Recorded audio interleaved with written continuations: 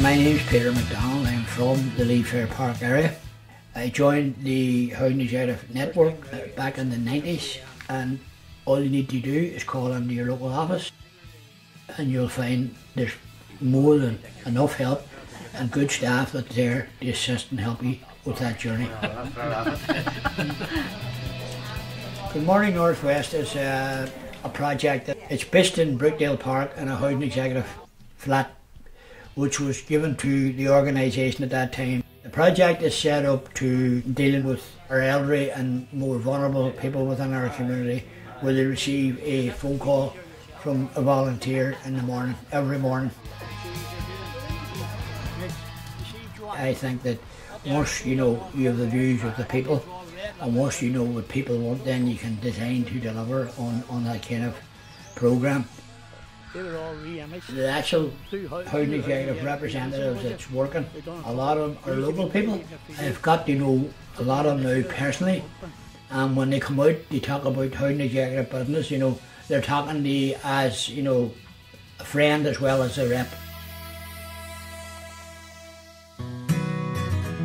My name is Sylvia McAvoy. I live in Bangor. I moved to Northern Ireland in 2001. I've been working with the Housing Executive for about 15 years. The main projects that I've worked on were the Polish Educational and Cultural Association. I was the Housing Executive Advisor um, and the General Advisor in Benefit Rights. Housing Executive is very practical and hands-on in working with people and they also assisted us with a project where we were able to deliver a piece of work showing what are the needs of minority ethnic people living in Northern Ireland regarding housing.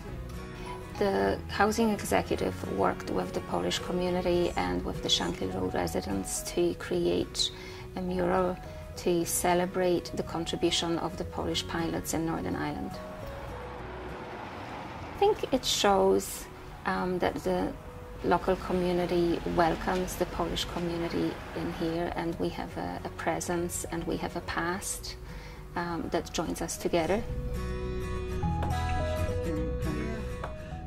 It is very easy to get in touch with the housing executive. You can pick up the phone, you can get in touch and ask for an interpreter to be available online. You can also arrange a face-to-face -face appointment.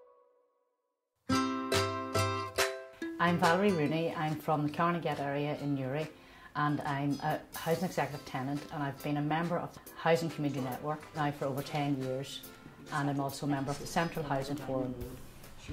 I was involved with the project board to review contracts and review the services that are delivered by the contractors at a local level.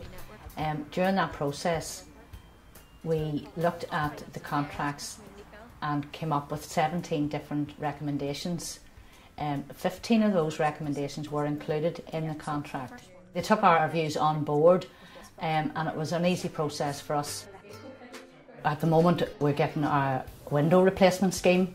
If there are any issues while the scheme is going on, we can bring that back to the meetings and, and get that resolved. And it's usually resolved very quickly with the, uh, the area staff and the local patch manager. They took on board our views and we felt we were really listened to.